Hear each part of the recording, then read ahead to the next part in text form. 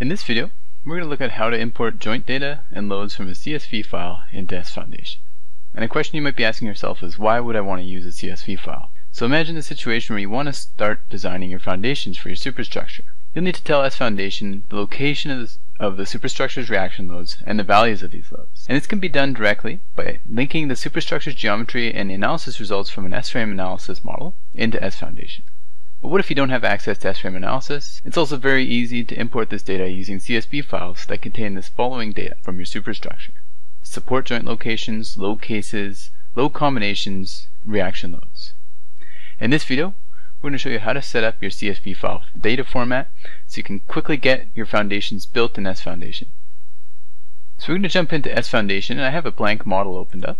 And what we want to do is we want to add the data from our superstructure will help us design our foundation quickly. So if I go to the Run menu, and then go to the Wizards menu, underneath this we have the option to import CSV supports with loads. I'm going to click on this, and it's going to open up a dialog that's showing me the first step of a multi-step process. First we're going to look for the path of the location where our joint data will be stored. You notice here that it has several different columns. The header is listed here, and the corresponding data that will be found within the Excel file.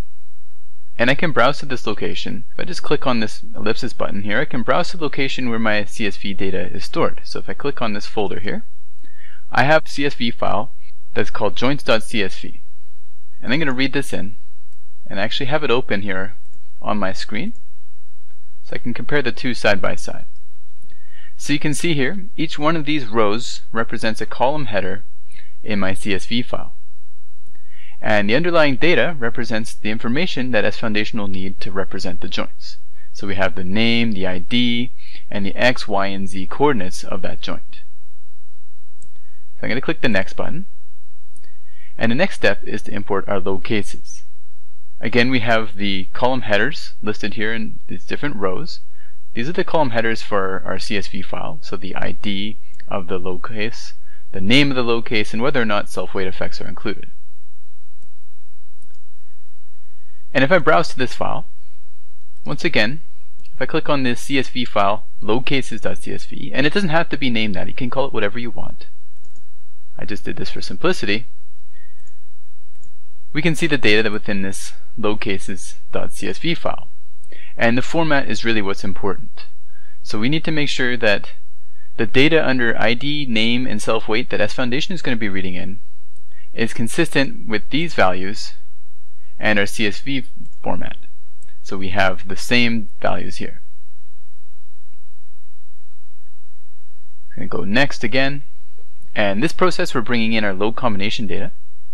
So we have a lot more information uh, because we have multiple load cases and their associated factors to represent that load combination, as well as the ID and the name of the load combination. So I have this file open as well. And you can see it's a larger file, but S Foundation can bring it in without issue. We have seven different load combinations, each with their own unique ID, and that's what's listed here. We also have the name of each load combination, the case that's being factored in each scenario, and the associated factor. And this will read in all this data from this CSV file. And lastly, we have the loads. The actual loads that populate our load cases and combinations and are applied to the joints that we've imported. So we have the load ID, the load case ID, the load case that that load belongs to, the joint that it's attached to, and then the magnitudes in the force and moment degrees of freedom. And just to show you what this looks like, this is a again a larger spreadsheet. Uh, we have 20 different load IDs and the load cases IDs are shown here as well. So we have four different joints. So that's why we have joints IDs 1, 2, 3, and 4. And we have four loads per load case. And the magnitudes of each one of these joint loads is shown here. So I'll click Next. And then finally I'm going to create a new file. Click Finish. And on the surface it doesn't look like anything exciting has happened. But if we click on the finite element model view here, we can see that we've imported these four joint locations just as we saw uh, from those spreadsheets.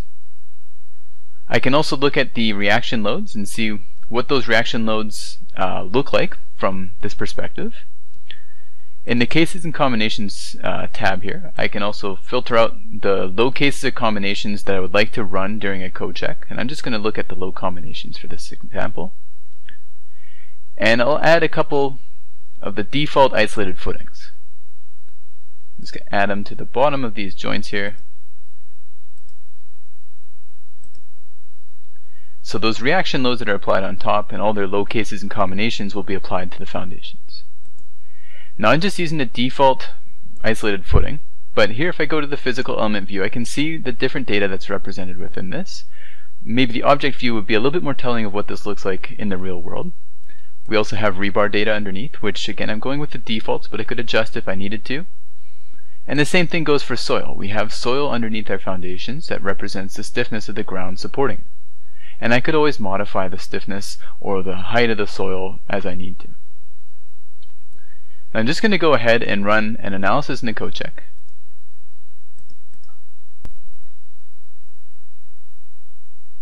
And S Foundation is going to run a nonlinear static analysis on all of my load cases and combinations that I've selected to run. It's going to be able to do uh, a nonlinear analysis to account for the compression-only springs underneath the foundation, so if there are any instances of uplift, it will accurately account for those.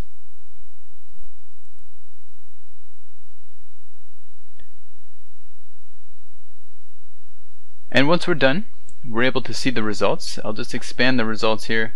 On the right hand side, we can see a high level summary of the results where we're looking at each individual code check that's been run and the associated demand and capacity for the governing load case or combination.